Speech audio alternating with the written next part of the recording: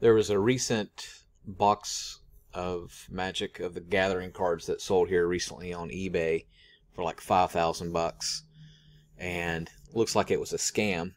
And I'll show you here this listing real quick.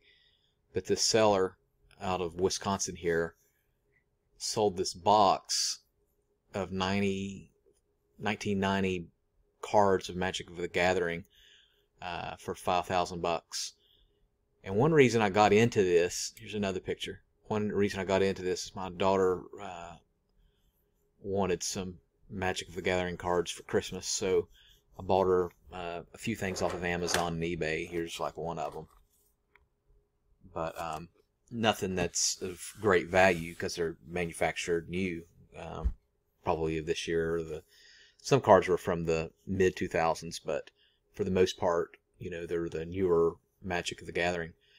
So I thought, hey, I'm gonna go on eBay because I've heard of people talking about how expensive these cards can get, are really valuable, especially from the 90s.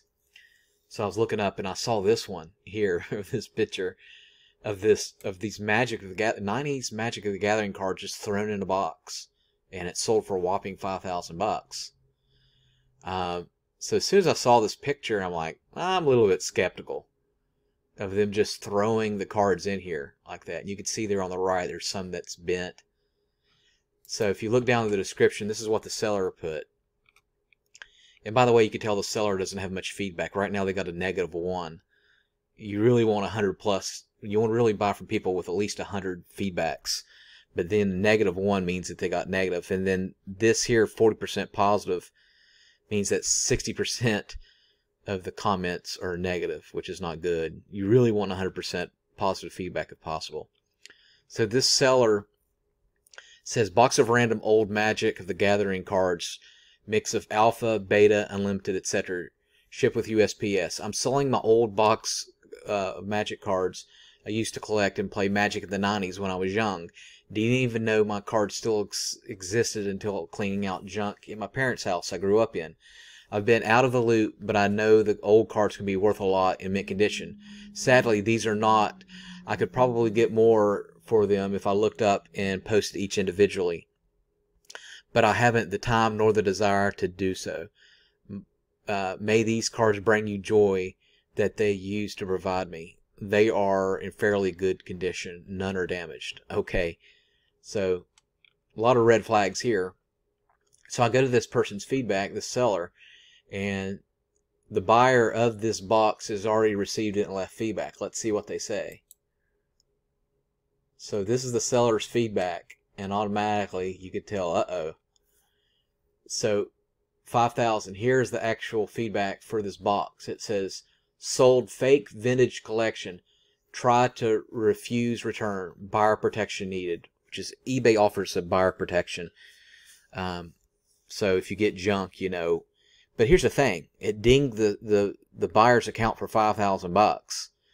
So that's a big deal when you give someone five thousand bucks. Even if you eventually get it back, it could take two months. You know, going through PayPal or the credit card or whatever, and it's really frustrating, right? So obviously, whatever this, whatever this, um, and we got two more, two more. Uh, that this guy sold. Uh, card is fake. Demonic Tutor Beta Magic the Gathering, and then another one is Beta Magic the Gathering Force Field HP. And he tried to sell both of these for over 200 bucks. Well, when you use the count, you know, the gig's kind of up when you get one because most smart buyers will look at your past feedback and they'll be like, this might sound too good to be true. But now let's face it, if you're buying from somebody that's got a thousand positive feedback with no negatives, they're going to trust you to buy to spend $5,000, right? So that's why when I buy on eBay, I'm always wary of who I buy from.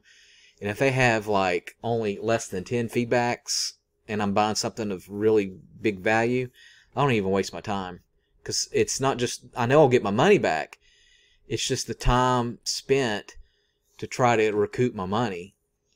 So look at these pictures and if you're going to ask $5,000 for something, you at least take more pictures, right, of each individual card, front and back. I know maybe you can't take a picture of all these.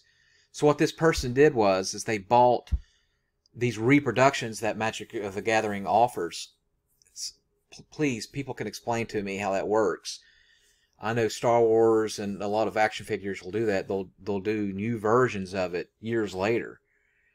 But tell me how you identify if it's a new version or if it's from nine or the 90s. I'm assuming that they would have the dates on them, right? So whoever this idiot is that sold this, uh, probably on there it's got 2013 instead of 1993, or you know some newer cards that he tried to pawn off as being more expensive. So I'm sure you guys can tell me in the comment section what you look for to see what's fake and what's not. But um, for this person to think that they can get by with it, you know, and look how crummy these pictures are. Like, look at this guy's hands.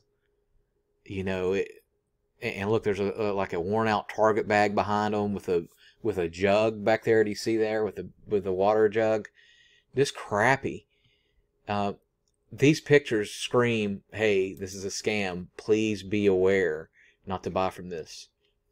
But um, so me and my daughter were just collecting for fun, and we're going to start playing uh, some Magic of the Gathering. And uh, heard it was really fun. She loved playing it with her uncle, and her uncle's in his 40s, so it's kind of kind of cool to to play something that's new and unique and not that expensive to play. All right, cards aren't that expensive. But you can search out what the most expensive Magic of the Gathering cards are. Let's look in eBay real quick.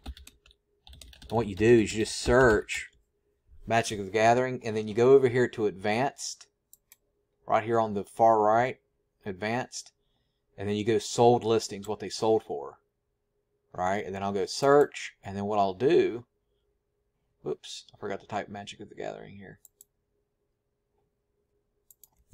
Let's type Magic of the Gathering. And then we'll go Sold, and green means it's been sold, right? Red means it didn't sell. So these are all are sold, and then we'll go highest first. So the highest set sold for thirty-two thousand dollars. One card sold for thirty-two thousand dollars. It's the 1993 Magic of the Gathering Beta Black Lotus, and this actually was graded by PTS as an 8.5 out of 10. So it's not mint, perfectly mint, but still good, right? And let's click on it and see what the seller of this card says. It had 41 bids, so he put it up for auction instead of buy it now. 41 bids, and interesting. This, it's not a seller feedback. It's actually probably done through on eBay through PWCC auctions. So I think they do through more. They go through more steps to make sure it's a reputable item. They probably PWCC probably takes possession of the of the card or the item and then sells it, so you know it's reputable, and you get a lot more money that way. Uh, wow, sold for thirty-two grand. So that's a leg legitimate bid. Uh, let's see if there's any more. This one here sold for 30. This one doesn't look like it was graded. Black Lotus Alpha Limited. I'm thinking from uh, 93. And the seller's got 223 positive feedbacks, no negatives. This, this is probably a legitimate sell. And look at that. Black Lotus. And you could tell it's not mint, right? Look at the edges of it.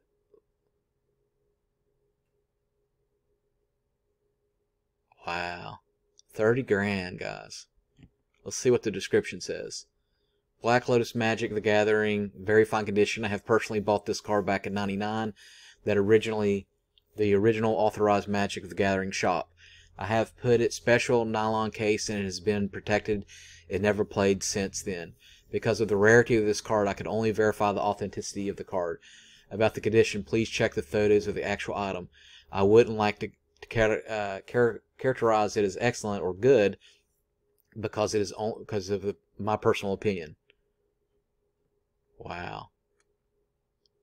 Here's more pictures of it. Yeah, you can tell it's far from mint, right? But it looks like a really honest, good seller. And you see how he got each in this individual card out and took so many pictures of it. That way someone can't bait and switch you on eBay. Like if someone's buying it from you, it's harder for them to bait and switch. Um, and regardless of what people say, there is protection for sellers as well. If you're a reputable seller and someone would and you were to sell this card and they took it and then they try to swipe it off with a fake or not even return it, you have protection as a seller through eBay too. Uh, eBay's been good to me the last 20 years I've used them. Anyways, I just wanted to ask y'all's opinion about what you thought about that box of fake fake cards and um, what would you do if you paid $5,000 for a box of fake cards? Do you think you'd be pretty upset?